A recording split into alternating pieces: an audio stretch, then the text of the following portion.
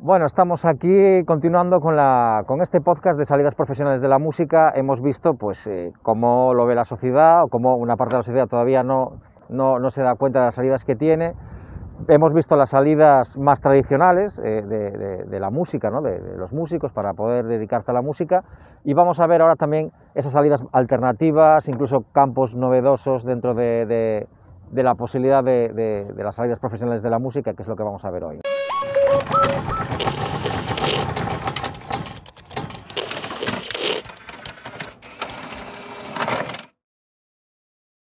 Bien, eh, en podcasts anteriores pues hablábamos de, salidas profesionales de la música, hablábamos de cómo la sociedad eh, prevalece muchas veces al niño, adolescente, mm, orientarlo hacia una carrera universitaria antes que a una musical, ¿no? Cuando muchas veces eso puede ser un error, sobre todo si tiene talento el, el niño, ¿no? O la niña en este caso. Y eh, hablábamos de salidas profesionales como más clásicas, ¿no? Más tradicionales. Y ahora estamos aquí viendo una nuevas salidas alternativas, ¿no? de, de, la música, de la carrera profesional, que están saliendo, pues sobre todo, de los últimos años, ¿no?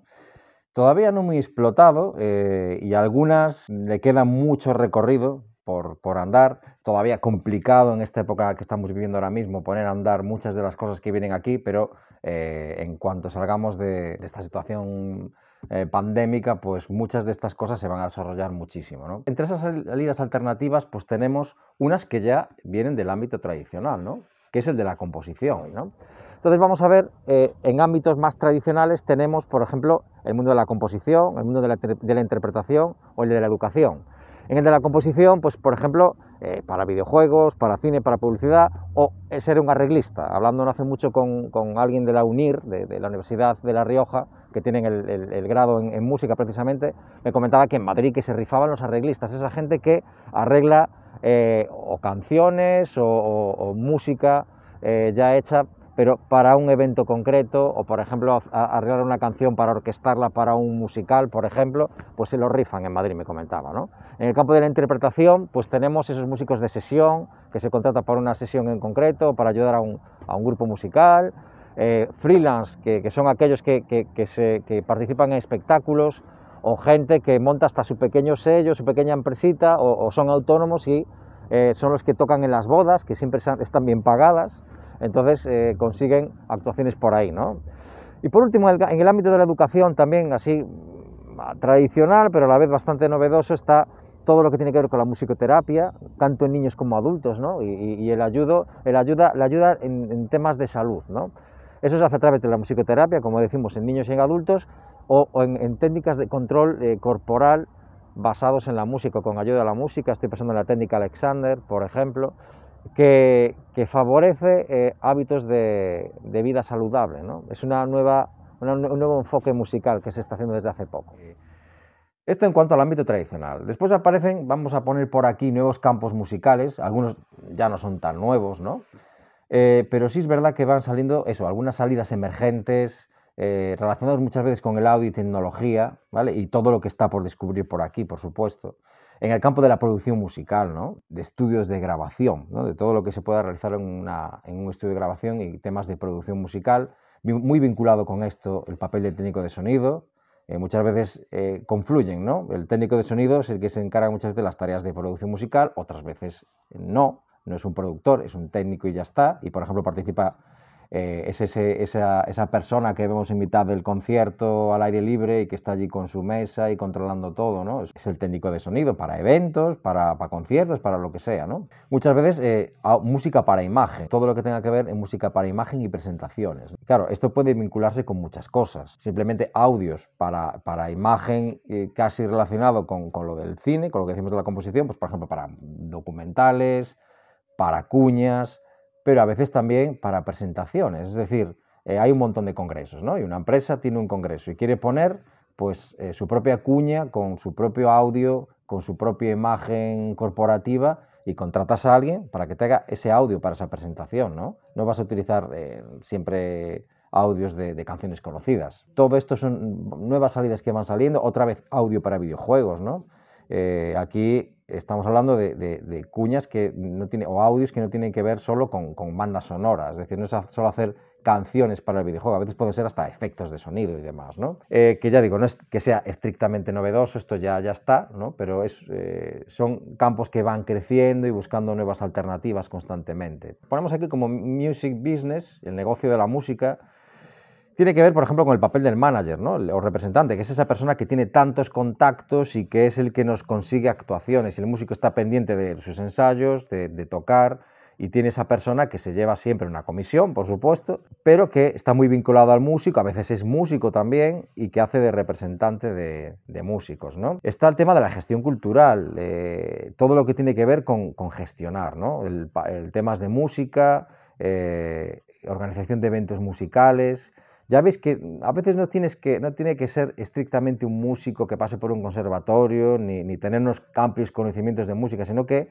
eh, es estar relacionado, relacionado con, el, con el mundo de la música, ¿no? y que te guste, que te apasione ese mundo, pues ámbitos de gestión cultural, que te encante, todo relacionado con, pues, con organizar eso, ¿no? incluso la logística, gente que se encarga, por ejemplo, de llegar antes que los músicos a los conciertos para tenerlo todo preparado para ellos hay, muchas funciones, ¿no? muchas cosas diferentes. Toda la gente que se dedica a la industria discográfica, gente vinculada a la, industria discográfica, aquí me viene, por ejemplo, eh, como una salida emergente, pues una niña que, tú, que estuvo en nuestras escuelas y estaba en clases de canto y ella quería dedicarse a la música como fuera, no tenía una formación clásica, ni, ni, iba por el lado de la titulación, ni nada por el estilo, ¿no? ni incluso con nosotros, no estaba interesada, pero que fue con una amiga a hacer un, un examen de acceso con 17 años a Londres para entrar a la universidad, eh, acaba de terminar bachillerato aquí y quería acceder a la universidad de, estudios musicales en la Universidad de Londres, ¿no?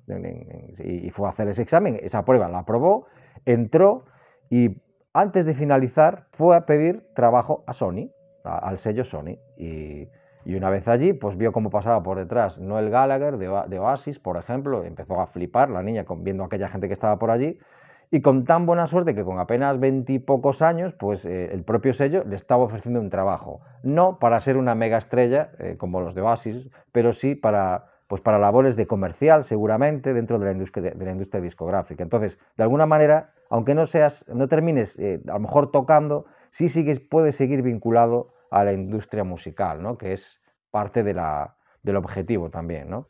Merchandising, aquí estamos hablando sobre todo de, venta de productos musicales. Eh, estamos hablando casi de, camisetas, de... Eh, vuelvo otra vez a, incluso a otras disciplinas anteriores, cuando hablaba de lutería ¿no? y de, reparación de instrumentos, pues gente que a lo mejor se dedica a la construcción de guitarras eléctricas, como tuvimos aquí a, unos chicos que se llaman Lia Custom y que dieron aquí como una, masterclass de, cómo mantener en, buen estado pues, las guitarras y demás. ¿no? Entonces, vemos que hay una serie de salidas que a veces no se valoran y que tenemos que tener presentes. Y por último, tenemos eh, otras salidas emergentes, nuevas salidas de, nuevos campos que se abren y que van a seguir desarrollándose y que son estas, lo que llamamos aquí salidas emergentes. Eh, vamos a, campos más novedosos, ¿no? Como es, pues por ejemplo, ser un desarrollador de aplicaciones eh, móviles y de páginas web para músicos, vinculado con los músicos, ¿no?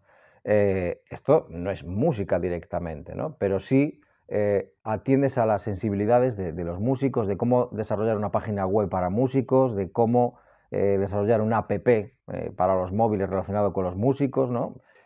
blogger, ¿qué es esto del blogger? Pues el blogger es una persona que va a aportar valor y conocimientos en una web. Normalmente esto es para uno mismo, ¿no? Es una, persona que, le encanta el mundo de la música, que tiene conocimiento sobre música y que lo aporta pues, en su web, en YouTube y donde sea. Podcasting. normalmente en este caso, pues sobre temas musicales. Pues gente que esté interesada, porque tiene conocimientos de música, pues en, volcar esos conocimientos y aportar, e incluso tener invitados y hablar de esos temas a través de esos podcasts, ¿no? Que pueden ser de audio normalmente, pero también puede ser eh, video podcast, ¿no? Puede ser también a través de vídeo.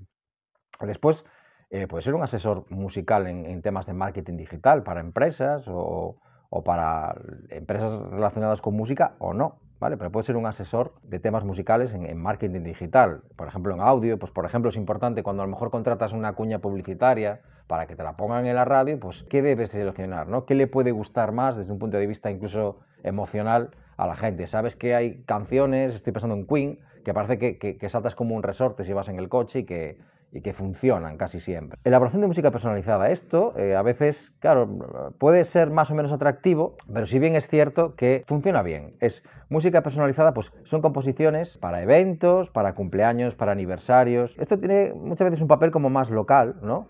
Pero no por ser local y, no por pensar en un espacio más reducido, ¿no? Y por no pensar que vas a llegar a menos gente, no. Tú haces, mm, compones, compones canciones pues personalizadas pues para alguien que está de cumpleaños. Y entonces la gente de tu localidad pues dice mira pues vamos con este esta persona que tiene un pequeño estudio o, es compositor y me va a componer pues una canción para el cumpleaños de mi hijo o para un aniversario de boda o para para eventos concretos, ¿vale? Música personalizada. Esto es como a la carta y yo creo que es una cosa que, puede ir bastante bien, ¿no? Todo lo que tiene que ver con redes sociales y la música, ¿no? Entonces ahí es, pues por ejemplo, hay empresas ya que se dedican a, a desarrollar la carrera de los músicos en las redes sociales. Cómo conseguir visualizaciones de tus canciones en YouTube, por ejemplo, ¿no? Eh, tiene mucho que ver con esto del marketing digital, pero hay gente que, que, te va a echar una mano en, este, en estos campos, ¿no? Y después, pues puede ser un profe o ser un mentor online, ¿no? de, ofrecer mentorías online para, aprender música, para aprender en un instrumento, para, para apoyar a alguien a, desarrollar su proyecto musical del tipo que sea. Bueno, pues con esto creo que, hemos terminado de, abarcar todos los campos, de ver un poquito cómo va la sociedad con este tema, de las salidas que hay, unas tradicionales, otras menos tradicionales, pero por lo menos que la gente sepa que, que la música es una carrera de futuro que tiene salida, que ah, tiene campos emergentes, que, no, tenemos que anclarnos en posiciones eh, clásicas sobre este tema y que esperemos que incluso las instituciones públicas y, todos los organismos educativos evolucionen para que se den cuenta de que eh, queda mucho por, recorrer aquí en España, ¿no? como por ejemplo considerarla como una carrera universitaria y que la gente pueda pues, ejercer y darle el valor que se merece, ¿no? como otras disciplinas que ya lo han conseguido antes. Bueno, esto ha sido todo, esperamos que os haya aportado información de valor, que os haya gustado y nada, nos vemos en el próximo podcast. Eh, cualquier cosa, cualquier duda que tengáis sobre este tema, no dudéis en contactar con nosotros. Así que, chao, nos vemos en el próximo podcast. Chao.